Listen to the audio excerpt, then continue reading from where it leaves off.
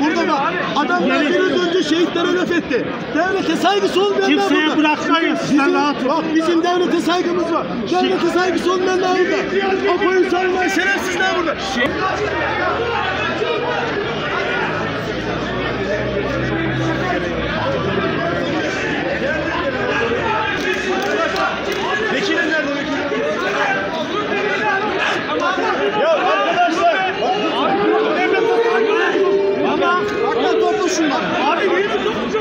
devlete saygısı olmayanlar burada. Devlete saygısı olmayanlar burada bak. Devlete saygısı olmayanlar burada. Sen yanlış konuşuyorsun. Bak, gelmiyor. bak o adamın polis olduğu belli değil. Ama devlete saygısı olmayanlar orada.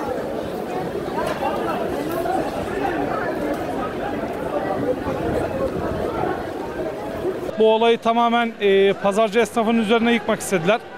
E, ilk olayda e, CHP kadın kollarıyla bir vatandaşımız tartıştılar. Tartıştıktan sonra burada bir olay gerçekleştirmiş. Biz bu olayı alıp terperat ettik ve gönderdik. Sondan kere e, CHP il başkanı ve sayın milletvekili Fazıl Kasap geldiler. İster istemez buraya bir olayı ortamı gelmeye başladılar. Ee, bizler kendilerine dedik burada basın açıklaması yaparsanız biraz sıkıntı yaşayabiliriz dedik.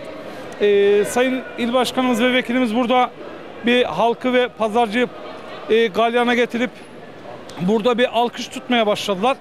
Ve terör övücü dediler pazarcı esnaf örgütüne. Biz hiçbir zaman için terör övücü olmadık ve olmayız. Biz her zaman için milletimizin ve Türkiye Cumhuriyeti'nin yanındayız. Olmaya da devam edeceğiz. Kimler terör örgütünün yanında olduğunu herkes çok iyi biliyor ve kınıyoruz, lanetliyoruz. Ee, terörü her zaman için biz pazarcı esnaf olarak lanetliyoruz. Bu zamana kadar böyle bir olay hiçbir zaman için pazar içerisinde gerçekleşmedi ve gerçekleştirmez. Herkesin siyasi görüşü farklıdır. Ee, sondan kere il başkanımıza tekrar bir daha söylememize rağmen daha olayı germeye başladılar ve sayın e, milletvekilimiz Fazıl Kasap buraya gelip yine esnafın ve vatandaşımızın hakkında yorumlarda bulunmaya başladılar. Biz sondan kere burada duyduğumuzda e, bir arkadaşım birisi e, arkadaşım birisine kağıt uzatmışlar. Demiş ki e, ben şehit verdim. Bunun için mi verdim diye söylemiş. O da demiş ki bana mı verdin şehiti? Kadın kollarından birisi bana mı verdin? Verdiyseniz kendinize verdiniz şehiti diyerek olaya iyice gelmeye başladılar. Ondan sonra emniyette geldikten sonra bu olay ister istemez kapandı. Ama şunu söyleyeyim her zaman için pazarcı esnafımız biz vatanımıza ve milletimize Türkiye Cumhuriyetimize bağlıyız. Bunu da bağlı olmaya devam edeceğiz. Ee, zaten e, şehiti bana mı verdin dedikten sonra olay patladı.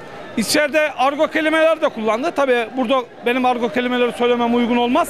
Ee, Allah nasip ederse bu pazarcı esnafı her zaman için ülkesini ve cumhuriyetini seviyor. Sevmeye de devam edecek.